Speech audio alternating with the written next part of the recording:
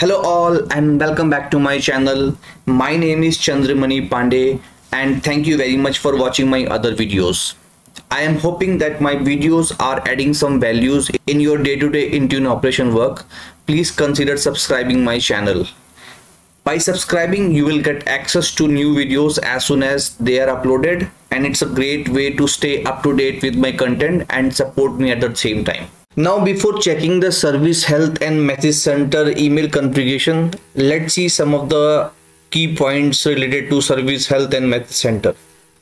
So service health is used to view details for active incidents as well as the advisory in the Microsoft Endpoint Manager Admin Center and only incidents that are affected to your tenants are showing in this service health status page so this information is also available in on the service health page of microsoft 365 admin center portal. And to check the status of service health we have to go to the tenant administration and under tenant administration we have to go to the tenant status. And within tenant status we have to go to the service health and message center. And within that we can see the service health status of your environment. If there is any active incidents or advisory available for your tenant it will show under service health status. Now the next information available under service health and message center is related to issue in your environment that required action. So this is used to know the issue in your environment that required action as well as this section displays message that are sent to alert tenant administrator about issue that might require action to resolve. Now the next information available under service health and message center is related to Intune message center. So Intune message center is used to view informational communication from the Intune service team without having to navigate to the office message center.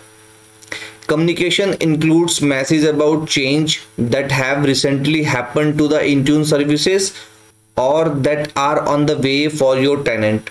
By default, the 10 most recent and active messages display.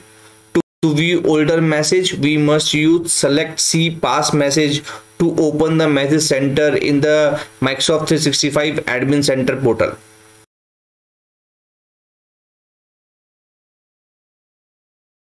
Now let's see how we can monitor the Intune service health as well as the message center status via email subscription. So to do this, we have to go to the tenant administration and under tenant administration, we have a tenant status and within tenant status, we have a service health and message center. We have to click on this.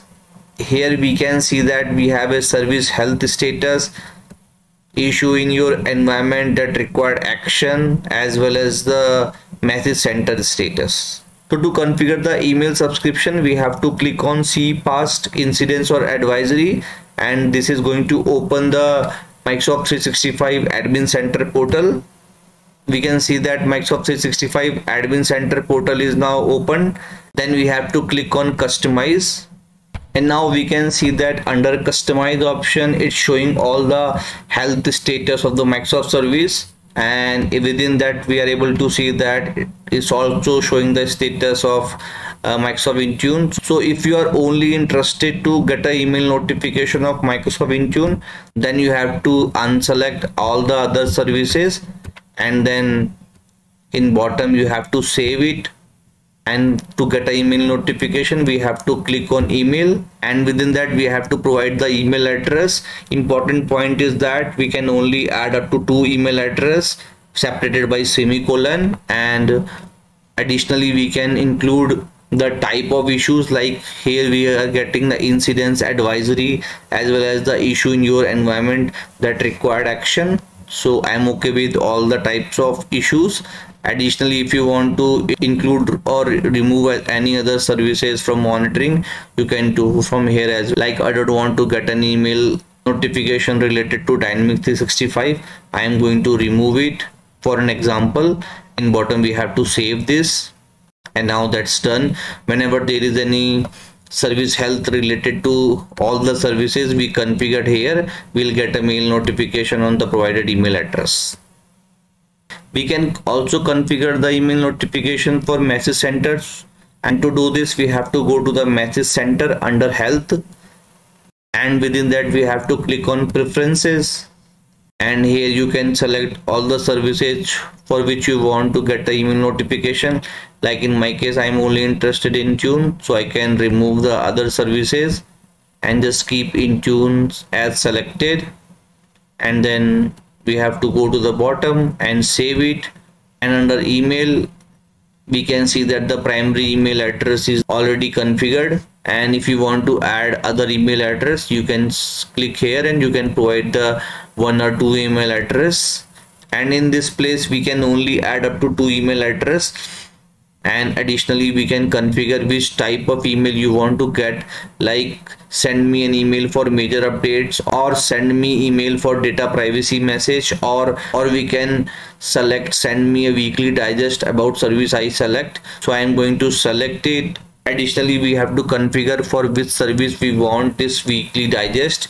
So i am okay with uh, all the service but, but as per your choice you can select or remove any specific service. And then bottom you have to save it. Now whenever there is a new incidence or advisory available under service health or message center we will get an email notification. Now let's quickly check what all we will get in mail whenever there is a new advisory or any incidents reported. So let me open my test email box so we can see that we are getting a mail notification from 365 service alert. So because currently I have no incidents or advisory available in my tenant that is why I'm showing a very old advisory mail so that you know how the mail looks like and uh, what all information we will get in this mail notification so in the top we will get a mail notification about the service which is impacted. After that we will get a advisory information like here in title we are able to see that we are getting a users utilizing autopilot with enrollment status page may intermittent timeout when provisioning a device. And this is the id and this is a service restore status and this is a service restore status for Microsoft Intune. And in bottom we will get a detailed information. And in bottom also we, we can see that when this was started and when this was ended. And also we will get a root cause why this kind of issues is happening. And what all step Microsoft is going to take uh, to avoid such kinds of issues in future. So that's all I want to show you in this video if this video is helpful in your day-to-day -day operation, please like, share and subscribe my channel. I hope this is an informative video for you. Thank you very much for watching this video.